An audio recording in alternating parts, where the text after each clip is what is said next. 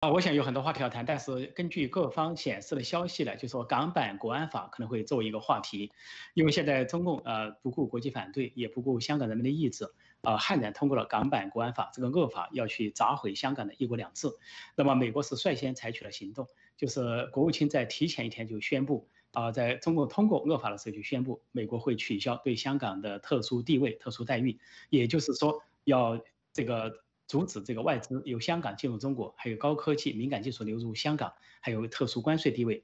之后，中共通过了恶法之后，这个美国总统川普又进一步的证实了这一点，啊，表示对香港采取的这个强有力的措施将会使中共难受。所以，中共这个时候据说，据各方面的消息反映呢，中共可能会提出一个版本，就说中共那边虽然通过了港版国安法，但是暂时不实施，换取美国。继续保持对香港的特殊政策，那美国会不会答应啊？这是一个问题，因为中共呢善用这个呃障眼法，或者说呃叫做厚黑学，或者说超限战，就是暂时的自己要喘不过气的时候挺一下，